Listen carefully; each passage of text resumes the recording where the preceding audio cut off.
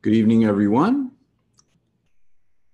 And welcome once again to our Bhagavad Gita satsang. I'm Hari-kirtana Das. It's a pleasure to be here with you and an honor to have you here with me. And I trust you will indulge me as I uh, ask you, as is our usual habit, to please raise your hand in order to let me know that I can be heard. And yes, there we go. Hands are all up. Therefore, I guess you can all hear me for better or for worse. Uh, I have a slightly new system this evening as we do our housekeeping. Let's just go through that quickly.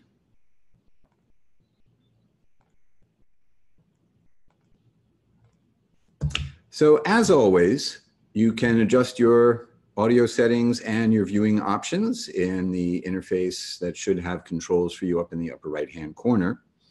You need not worry about your microphone or your video camera because I cannot see or hear you, but you can apparently see and hear me. You can type a question into the Q&A if you would like to be heard. You can also type a comment into the chat window. I have a second monitor that allows me to be paperless for one thing, but it also means that it's a little bit easier for me to spread the windows out and keep track of things. So at some point this evening, I am sure to ask you to enter something into the chat that is not exactly a question or a comment, but of course, questions and comments can go into the Q&A box as is usual. Our last class, uh, chapter 11, the Yoga of Divine Revelation continued, with verses 5 through 12. We spoke about how one can see whatever one wishes to see in the universal form. That is to say, when we come to the material world, whatever it is we're looking for, uh, we will find it, but not in the form that will bring us the ultimate fulfillment we seek from whatever it is we are searching after or chasing after. We spoke about the limits of material vision and how the revelation of divinity in a form that can be seen, the theophany uh, of God, uh, is try, like trying to look at the light of a thousand suns. So, as a point of comparison to give some idea about something that is really beyond any uh, limits of language. This evening, we will speak a little bit about what it's like, or what it might be like, to see everything everywhere, all in one place, all at the same time. And how, if at all, we can speak about this kind of experience. We'll also speak about astonishment as a rasa, or a mood of relationship, a flavor, a taste. Uh, I will elaborate a little bit more on the meaning of rasa as our evening progresses. And in this section, Arjuna will begin to offer prayers. We will see that there's a change in the relationship uh, from Arjuna's position. And he will begin to express his thoughts and feelings about this change in their relationship. So this will cover verses 13 through 19 of chapter 11. And we will, we will begin, as we always do, with our invocation mantra. So for those of you who are new to Sanskrit diacritical marks on transliterated Sanskrit, Sanskrit written in the Roman alphabet, the dot over the M indicates that we close the back of our tongue to the back of the roof of our mouths. At the same time, we bring our lips together in front. Uh, a bar across a vowel, in this case an A, means an open and elongated version of that sound as opposed to a closed or more closed truncated version of that sound, as I hope will become self evident as I chant, and then you chant back. Here we go. Om Namo Bhagavate Vasudevaya.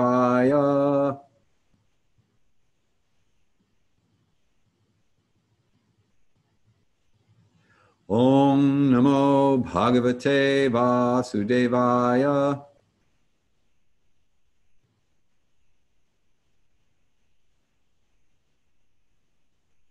Om Namo Bhagavate Vasudevaya.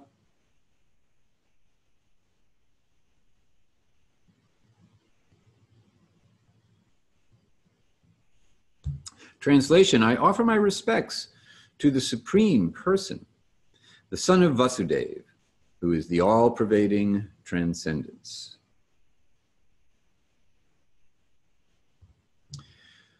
So last week and the week before, we entered into the 11th chapter, the Yoga of Theophany, or the Yoga of Divine Revelation, the revelation of God to a human being in a visible form.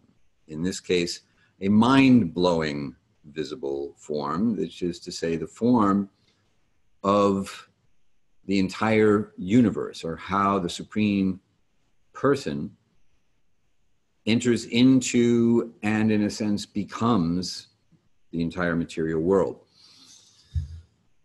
We started last week's program with verse number five, which goes like this The Blessed Lord said, Krishna speaking, O son of Pritha, another name for Arjuna, behold my hundreds and thousands of divine forms appearing in a wonderful multitude of categories, colors, and shapes.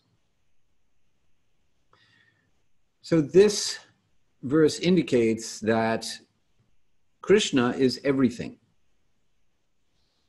However, that doesn't mean that everything is Krishna. It sounds a little bit like a Zen koan. It is certainly a paradox.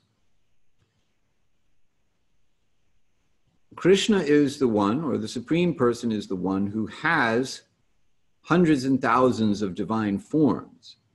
But not every one of those forms, in and of itself, has hundreds and thousands of divine forms. So, in this way, uh,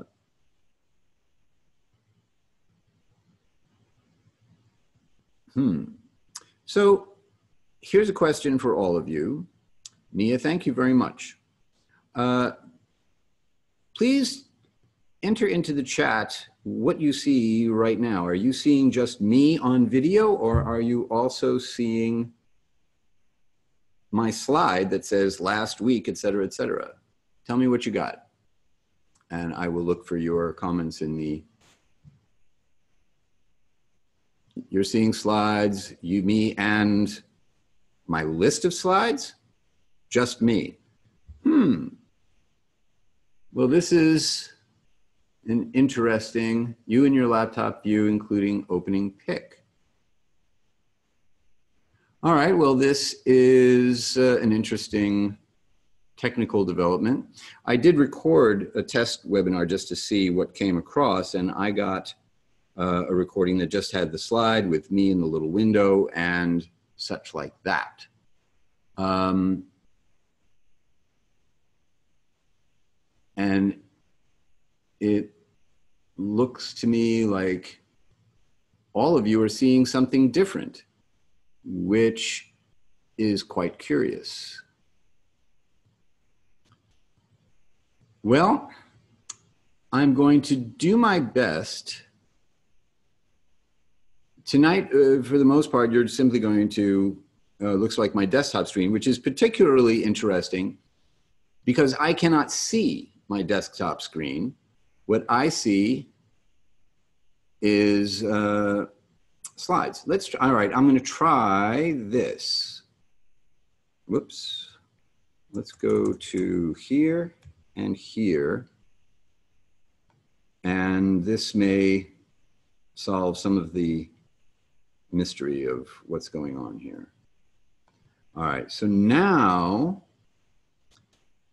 I'm betting that you can see my desktop meaning that you are looking at my PowerPoint slideshow with me up in the corner. Please let me know if that is correct. Kevin, thank you very much. All right, so what you're seeing is not my slideshow, but rather my PowerPoint application and with all the little slides on the side. And okay, yes, very good. All right, well, that answers a very important question for me. And I hope that solves the problem for all of you in terms of what it is that you are seeing. Uh, and now we're all on the same page, looks like to me. So yay, another crisis fades into the oblivion. I'll drink to that. All right. Nia, thanks again for bringing that uh, technical issue to my attention. Let's continue. So, Krishna is able to open the doors to this realm of reality whereby Arjuna can see how Krishna is the universe and everything in it. But that's Krishna's unique position. Not everything within Krishna is the complete whole. They're parts of the complete whole. But certainly the complete whole is all the parts. So, this particular verse and this idea of hundreds and thousands of divine forms and such is often, uh, in my view, misinterpreted as indicating that everything is God, which is not saying the same thing as God is everything. So I just wanted to make that point from what we covered last week before we move on to this week. This week, our translations will be from verses 13 through 19. So now I trust uh, that you can all see me full screen, please let me know. Okie dokie. So, beginning with, thank you. Ah, yay, very good. All right, now we know it's working. So, beginning with uh, verse number 13. Now, this is Sanjaya, the secretary of Dhritarashtra, the blind king, whose sons uh, are on the battlefield with the sons of his late brother Pandu. So Sanjaya is narrating what he's narrating the entire Bhagavad Gita, and at this point he is telling Dhritarashtra what Arjuna is seeing. And by Krishna's grace, Sanjaya knows what Arjuna is seeing because he can see it too. However, all the combatants assembled on either side of the battlefield cannot see it. They just see two guys sitting on a chariot talking. Uh, so Sanjaya is given some special dispensation. And as we will see in a few verses, the demigods are also privy to this vision. So they'll show up in a little bit. So here we go. These are the uh, verses, then we'll go back verse by verse and look at each one in detail. So Sanjaya continues. Then and there, the son of Pandu, Arjuna, beheld the complete expanse of the universe, situated in one place, yet infinitely divided within the body of the God of gods. Then, this is verse 14, then overwhelmed with amazement, with the hairs on his body standing on end, Arjuna, the conqueror of wealth, bowed his head to the divine Lord and, with palms prayerfully joined, began to speak. Verse 15 Arjuna said, O my Lord, I see all the demigods, along with all manner of other beings assembled in your body. I see Lord Brahma sitting on the lotus flower, Lord Shiva, and all the great sages and divine serpents. Verse 16. O Lord of the universe, in the form of the universe, I see innumerable arms, bellies, mouths, and eyes expanding without limit in every direction. I see no end, no middle, nor any beginning to your unlimited form. Verse 17 I see you everywhere, adorned with various crowns, clubs, and discs a limitless form of shining splendor glowing on all sides like blazing fire, like the immeasurable radiance of the sun, so difficult to behold all at once. Verse 18 You are the imperishable, the ultimate object of knowledge, and the supreme resting place of all. You are inexhaustible, the eternal maintainer of eternal religious principles in my opinion, you are the supreme person. Verse 19 You have no beginning, no middle, nor any end. Your power is limitless, your arms are limitless, and the sun and moon are your eyes. I see you with blazing fire pouring forth from your mouth, burning this entire universe with the heat of your radiance.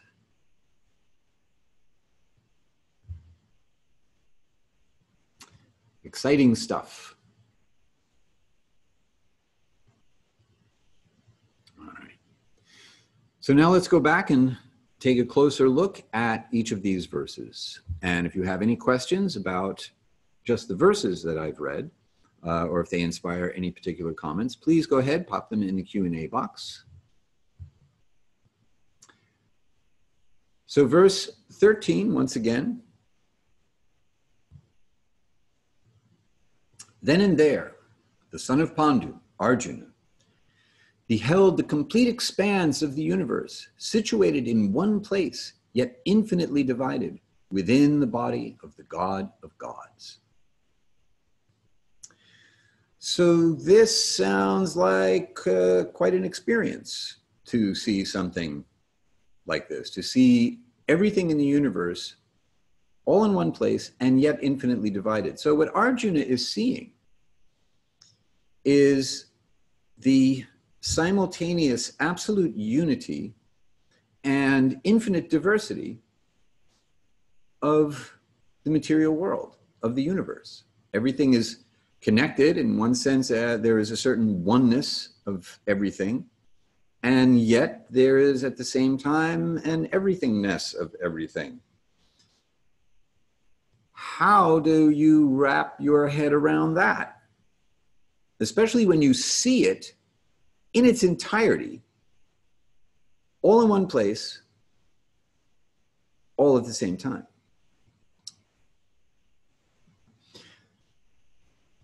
This is not within the realm of the mind.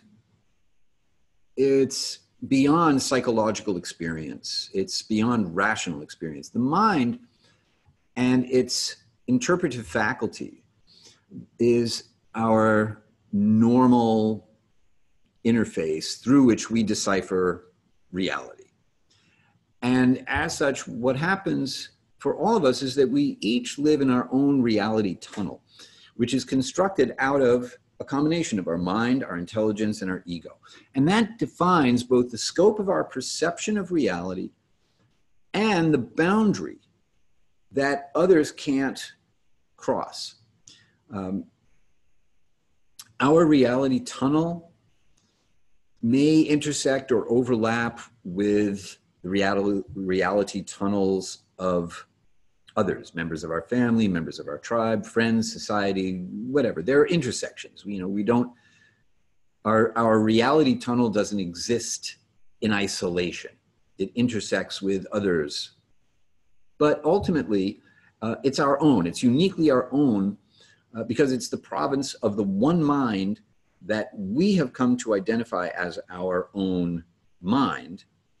And unless someone is clairvoyant, uh, one cannot read another's thoughts. My thoughts, my experience of being is uniquely mine, except that I share it with Krishna, because my senses are Krishna's senses, because I'm a part of Krishna. I'm not Krishna, because I can't experience anyone else's senses and anyone else's mind other than my own. But Krishna is the uh, ultimate uh, system administrator. So he has complete access to the full scope of reality, including my experience of reality.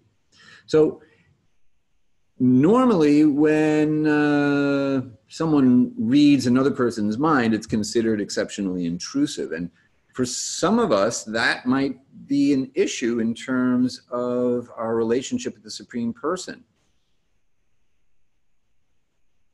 He's always here. And there's really no getting around the fact that he's omniscient, and therefore our thoughts are also his thoughts.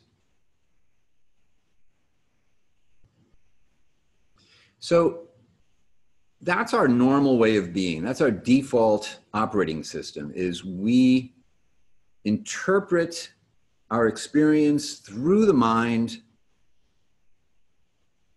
and that's our reality tunnel. And what's happened is Krishna has lifted Arjuna out of his reality tunnel and is sharing a portion of his own reality tunnel. And that is pretty mind blowing. So, by Krishna's grace, and not by Arjuna's endeavor, Arjuna is now seeing through what you could call the mystical eye of revelation, which gives him access to an experience that's beyond the scope of mental interpretation.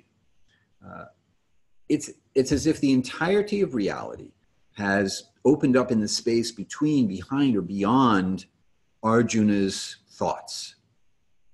And it's not that one will necessarily see the same vision in that space should one arrive there.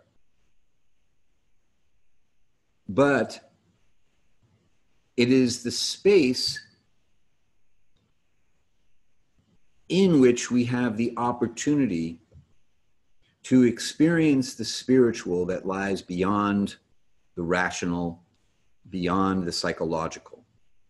So, in this case, uh, this is not merely a psychological phenomenon, it's a divinely gifted phenomenon.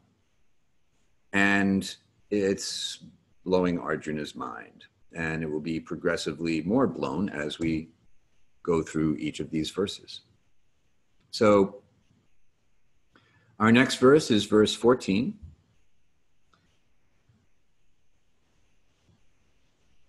Sanjaya continues Then Overwhelmed with amazement, with the hairs of his body standing on end, Arjuna, the conqueror of wealth, bowed his head to the divine Lord and, with palms prayerfully joined, began to speak. Okay, you are seeing the sum total of reality, past, present, and future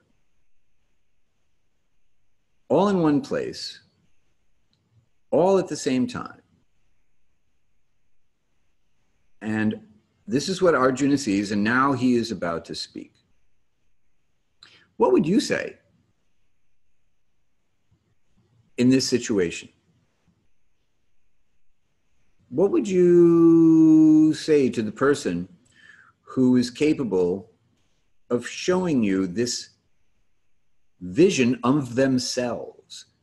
Pop something into the chat window if you feel inspired and if something comes to mind as to what you might say.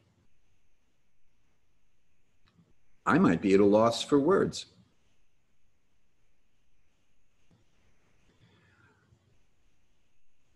It is uh, yeah, that's a good one. How can I serve you? Mm-hmm. We can tell something about what Arjuna is going to say. He's telegraphing the mood of what he's about to say by his body language.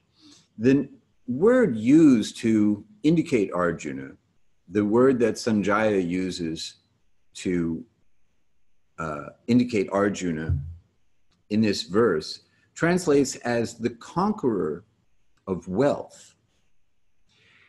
And it's a little ironic because the attribute of wealth is bestowed by the goddess of fortune, Lakshmi Devi, who is truly only conquered by Vishnu or Krishna. So it's kind of an indication that, in spite of the fact that Arjuna has uh, an exalted position within his own sphere, he is taking a very humble position by bowing his head, by folding his hands in prayer. He's preparing uh, to offer prayers to his friend Krishna, who has now revealed himself as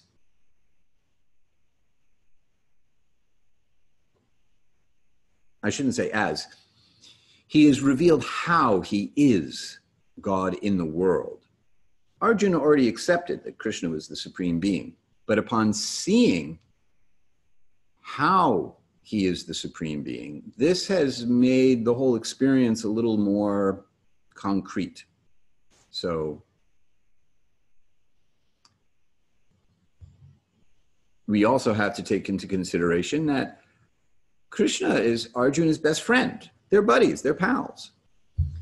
So, what if your best friend showed you this universal form? If it turned out that your, your buddy who you hang out with is actually the supreme person, and you kind of knew that, but you didn't really ever see it, and now he shows it to you, or she shows it to you. So, uh, how would that change your feeling about your best friend? How would that change your orientation to the relationship. If you have any thoughts on that, please share them with me in the chat as well. Krishna is known by many, many names, and one of them is Akhila Rasa Amrita Murti. So, Akhila Rasa Amrita Murti, uh, otherwise known as the perfect embodiment of all rasas, or another way to put it is Krishna is the reservoir of all relationships. All possible relationships reside within Krishna. The, the, the full potential of all possible relationships are there within him. So I'm going to break this phrase up into pieces. Akhila means all inclusive, everything. So all. Rasa is a difficult word to translate into English. It's a word that has uh, multiple different facets, and no one English word can really come up to the standard of, of all that different nuance.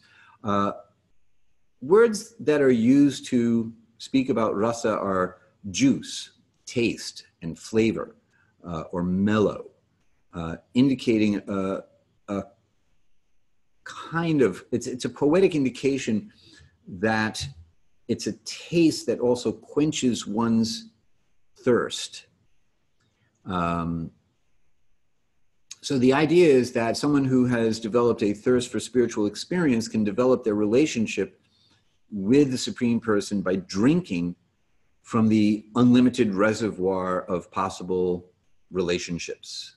Um, ah, thank you, Jill, adding a few uh, ideas about rasa. And Nia, I'll come back to your com- content, comment in just a moment. Amrita means nectar or like nectar, nectarian. So something very sweet, something that tastes super, super wonderful. So whereas rasa is a juicy taste, Amrita indicates the sweetness or the um,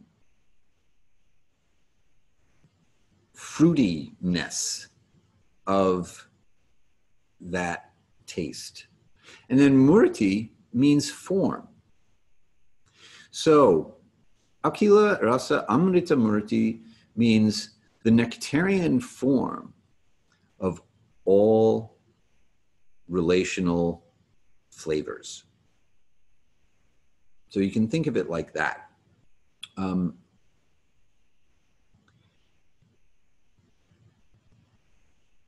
and we hear that Arjuna took up this position, this prayerful pose, with his hairs on his body standing on end. Now, sometimes we associate that with fear. And in this case, hair standing on end is understood to be a symptom of spiritual ecstasy. It's not a fear. His natural loving relationship, friendship, uh, was overwhelmed by wonder, amazement, and that's why he reacted in this way. Now, Arjuna's default rasa, or flavor of relationship with Krishna is one of fraternal affection.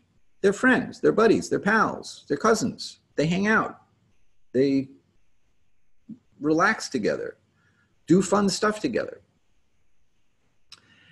And in the science of bhakti yoga, fraternal affection is a symptom of continuous spiritual ecstasy, which is to say, it's a, a symptom of ecstatic love of God that's possible only when one is fully situated in the transcendental platform. In other words, you don't fall away. It's not like sometimes you're aware of God and sometimes you're not. But rather, you're always aware of God, but you're not aware of the fact that person you're with is God. Because that aspect of their personality has disappeared, in a sense, behind the predominant feeling of friendship. In order to be relaxed with God, you have to kind of forget that He's God. And therefore, in order to have a genuine friendship, genuine relationship of, of friendship, uh, the God part, the Aishvarya, is Sanskrit word we used in the last couple of weeks. The opulence, the majesty of God, kind of has to take a back seat. Well, now uh, what's happened is the Aishvarya, the majesty, the power, um, that has now eclipsed the friendship. So Arjuna is astonished at what he's seeing, and astonishment at the majesty of God is actually a step down in the hierarchy of transcendence because now it creates some distance. It's, it's an indirect expression of ecstatic love as opposed to a direct expression. Friendship is a direct expression. Astonishment is an indirect expression. So, direct perception of Krishna's personal qualities inspire personal devotional ecstasies in personal relationships. So, for example, Krishna in his human like form is very, very beautiful. His uh, features are very, very pleasing. His speech is very pleasing and clever. Uh, he's eternally youthful. He's always truthful. And, not so surprisingly, he's a genius. Uh, so he's uh, got unlimited intelligence. And it's, that's all very inspiring. A direct perception of Krishna's power, on the other hand, inspires devotional ecstasy in a subordinate relationship. So, hence, how can I serve you? Um, so astonishment, awe, reverence. And when you see that much power, it's just kind of natural that you'll also experience some, some fear. Now, the hair standing on end in this case is not fear, but as we see when we move towards the end of these verses for tonight, uh, Arjuna's mood is going to start to develop a little bit of trepidation as he's totally blown away by what he's seeing. The other way to think about hair standing on end is that it's an indication that the life force of a person is moving out into the outer edge of the body and coming into the contact with the element of air. And so that hairs on the body standing on end are an indication of that. Okay, let me get to uh, comment. So Nia's comment, I would continue with the battle as Krishna suggests. Perhaps Arjuna saw his destiny. He hasn't seen it yet, but he's about to. We're going to cover the verses where Krishna shows Arjuna the outcome of the battle of Kurukshetra in next week's set of verses. We're going to approach them this evening, and then next week we will look at those specific verses. So, yes, Arjuna is going to see his destiny, and that's what's going to stimulate or, or instigate uh, the transition from astonishment to fear. So, yeah, You've uh, foreshadowed this uh, section very nicely. And yeah, Krishna is uh, going to give away the ending. So um, there you have it. Okay, thank you for your comments. Now let's take a look at verse uh, 15. Uh, one, just one more quick note. Arjuna will see his destiny and have uh, and be inspired to feel fear. However, that fear will also be transcended, and uh, Krishna will give him the means by which to transcend that fear. So that is also coming up in uh, later in this chapter. All right, verse 15. Arjuna said, so now we begin Arjuna's prayers. O my Lord, I see all the demigods, along with all manner of other beings, assembled in your body. I see Lord Brahma sitting on the lotus flower, Lord Shiva and all the great sages and divine serpents. So, all the demigods and all manner of other beings assembled means that there are distinct societies of beings in an assembly, like one group of this kind of being, one group of that kind of being, multitudes of assemblies of beings. Uh, I'm going to share my screen with you once again.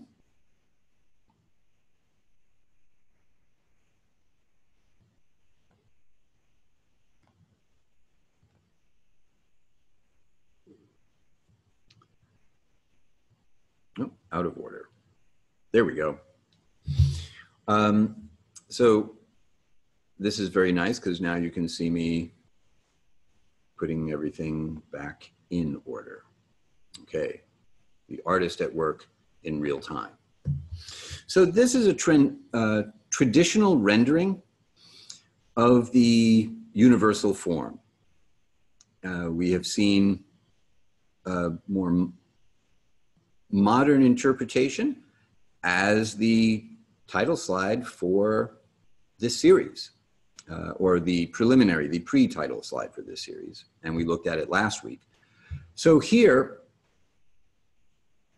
um, we see an illustration of what Arjuna is seeing. or describing to us. So we see the central form of uh, Krishna, but not in his bluish form, at least here. But if we look a little more closely, then we can see that Brahma is situated on the lotus flower right in the midsection of the central portion of the universal form. We heard earlier about all the different arms with the upraised weapons. Uh, all the demigods we see along the sides represented here. So we have Lord Shiva to the right and Lord Vishnu to the left, and then Brahma in the middle. So this takes care of our uh, Trimurti. So remember the word murti means form. Tri, T-R-I, means three, not so surprisingly. So Trimurti means the three forms of divinity that control the three qualities of material nature goodness, passion, and ignorance. So Vishnu is in charge of maintenance, uh, the mode of goodness. Brahma is in charge of creation, the mode of passion, and Shiva is in charge of destruction, the mode of ignorance. And alongside of them, we see uh, indications of various demigods and sages, and then the flaming mouths of the kshatriyas, the kings, the soldiers here. Uh, the different demigods living in the arms of the supreme person. So each demigod associated with uh, different function in the material world um, and uh, different articles uh, to perform those functions, etc. So it's, I hope, interesting to note that Vishnu is emanating from Krishna as opposed to Krishna emanating from Vishnu. Sometimes it's understood that Krishna is an incarnation of Vishnu. However, in the uh, Srimad Bhagavatam or the Bhagavad Purana, the explanation is that Krishna is actually the original source of all incarnations, expansions, etc. And that when Krishna shows up through the avatar system that he himself has devised, uh, he is personally showing up in his form as the ultimate original supreme person. So, uh, this illustration gives you an idea of what Arjuna is seeing. And for uh, those of us of a certain age, uh, this illustration of the universal form will forever be associated with this illustration of the universal form. Um, and yeah, Hendrix is great, but he's not that great. I digress. questions or comments? Tess, I knew you would especially appreciate that.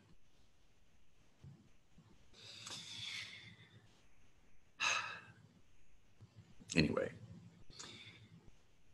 let's move on to text number 16. O Lord of the universe, in the form of the universe, I see innumerable arms, bellies, mouths, and eyes expanding without limit in every direction. I see no end, no middle, nor any beginning to your unlimited form. So, this is a pretty mind blowing idea because to say form means to indicate a boundary, contours, a form uh, by definition, has shape. And there's an inside to the shape and the outside to the shape. And it's limited by, by definition. And yet here, Arjuna is quite specifically saying you have an unlimited form. So it, it's a paradox. It sounds like a contradiction. A form shouldn't be unlimited. And yet here we have one. A form containing unlimited forms, which is itself unlimited. Well, you know, that's something only God can do. is have an unlimited form. And this tells us that the form of the Supreme Being, being unlimited, without beginning, middle, and end, is transcendental to the limitations of this material world and is therefore situated in spiritual reality. In other words, not just a human invention that we come up with because we can't wrap our heads around a formless, nameless, energy-less, cognitive nullity that is uh, also the only ultimate absolute reality. So this is an important point that I would like you to consider. The transcendental nature of the form of the absolute divinity, without which absolute divinity would be incomplete if absolute divinity was only formless in absolute reality. Then what would be missing is the transcendental form, therefore incomplete. So both have to be there. The uh, transcendental formless reality in uh, which we refer to in Sanskrit as Brahman, and the form of absolute transcendental reality in the bodily features of Krishna. Verse 17. Uh, thank you. Verse 17 I see you everywhere, adorned with various crowns, clubs, and discs, a limitless form of shining splendor, glowing on all sides like blazing fire, like the immeasurable radiance of the sun, so difficult to behold all at once. So, if you're going to see the universal form, bring your sunglasses because just like looking at the sun is really hard and uh, in most cases not advisable, uh, it's really, really hard for Arjuna to, first of all, focus on everything. And it's all glowing so brightly that you can see it and yet not see it at the same time. So, this is another paradox of this particular vision that Arjuna is seeing this form, and yet it's glowing so brightly that he can hardly see it. Which brings us to text 18. You are imperishable, the ultimate object of knowledge, and the supreme resting place of all. You are inexhaustible, the eternal maintainer of eternal religious principles. In my opinion, you are the supreme person. So here Arjuna is both, he's expressing his understanding of what it is he's seeing. This now comes back into the realm of the interpretive mind. The experience is mind blowing, it's beyond anyone's mind. And at the same time, there is still an understanding of the significance of what Arjuna is seeing. And Arjuna now is, is um, articulating what he sees as the significance of what he's seeing. So the first two words in this verse in Sanskrit, tvam aksharam. Tvam means you, aksharam means infallible. But it also has another meaning. Uh, aksharam is also the Sanskrit word for the syllable om. So another way for Arjuna to, to understand what Arjuna is saying is he's confirming what Krishna said about himself earlier in the Bhagavad Gita, which is that of sacred syllables, he is the sacred syllable Om. So you are imperishable or you are the sound Om, which indicates to us that the sound Om is imperishable. It's an eternal sound going on always. When we chant Om, we are participating in the emanation of a sound vibration that is already in progress and has always been in progress and will ever be in progress. So when we chant Om, we are connecting to that which is imperishable. Which brings us to text 19, and we are going to chant this verse.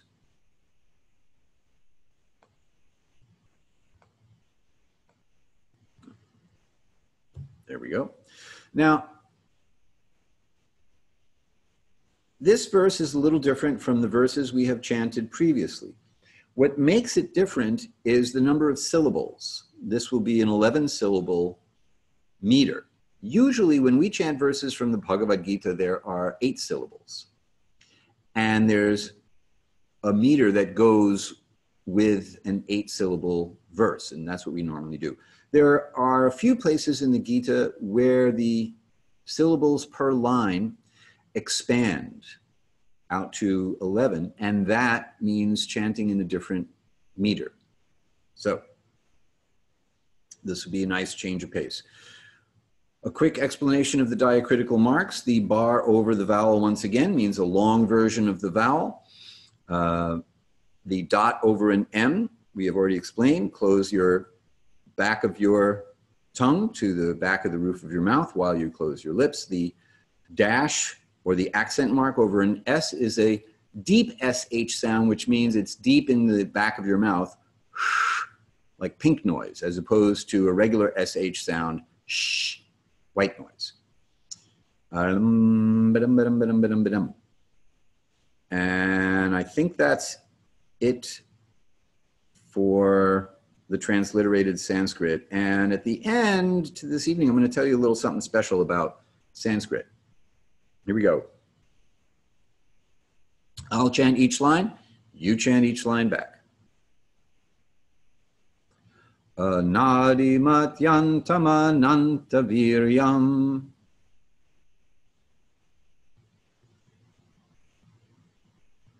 Anantabahum Shashi Surya Netram.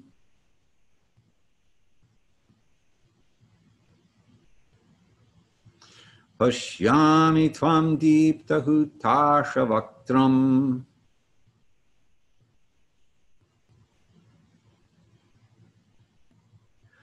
स्वतेजसा विश्वमिद्धं तपन्तम्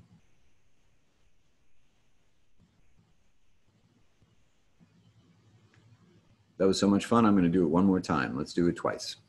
Here we go. Anadimatyantamanantaviryam.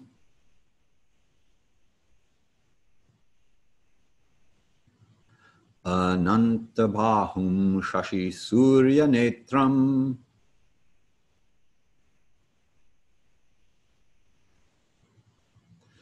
Pashyami Tvam Diptahutasha Vaktram.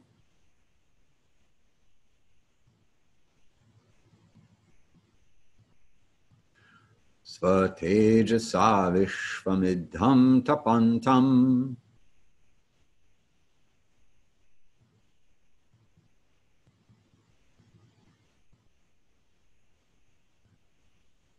Translation You have no beginning, no middle, nor any end. Your power is limitless. Your arms are limitless. And the sun and moon are your eyes. I see you with blazing fire pouring forth from your mouth, the burning, uh, burning this entire universe with the heat of your radiance.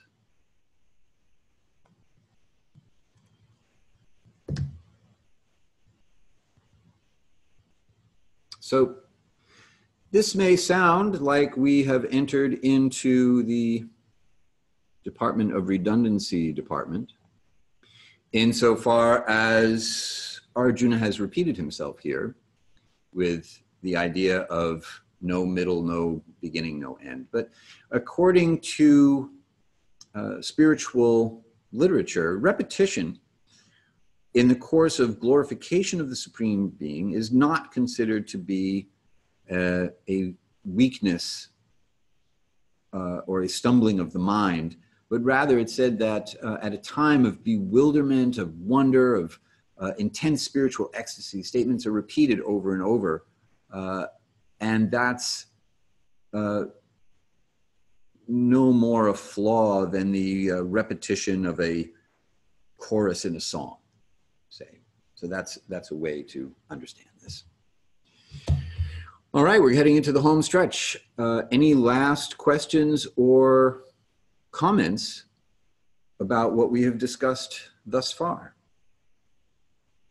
And while I await your questions and comments, I will forge ahead with a recap of tonight's class, uh, which was not seeing whatever we wish to see. Yet again, I have failed to tell you what we have just done.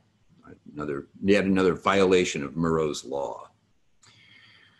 Okay, so what we really did was what I said we were going to do next week, last week, which is we talked about seeing everything everywhere all in one place all at the same time and how totally mind-blowing that is. We spoke about astonishment as a rasa. We discussed the idea of tastes flavors of relationships uh, and how arjuna's relationship of friendship with krishna is actually a higher spiritual relationship than the relationship he steps down into now which is one of awe and reverence and therefore distance rather than proximity. And that's a kind of interesting way to think about our relationship with divinity and what is actually constitutes higher and lower, the idea that there are hierarchy, hierarchies of relationship in transcendence. That very idea itself is a kind of interesting concept that the Bhagavad Gita offers us. And finally, we began to uh, enter into Arjuna's prayers.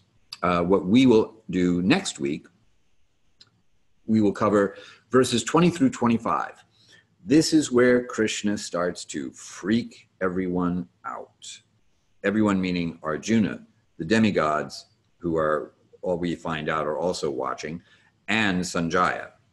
Uh, we'll talk a little bit further about how Arjuna takes yet another step down into fear of God and how fear of God is a lesser modality of worship than awe and reverence, to say nothing of feelings of fraternal affection. And as uh, Nia has predicted, death arrives. Uh, Arjuna will see the future, and in this case, it's not going to be pretty. So that's what's happening next time. Okay. Question from Kevin Can you speak a little about the concept at the end of the verse, a burning of this entire universe by your own radiance? Is it an actual burning?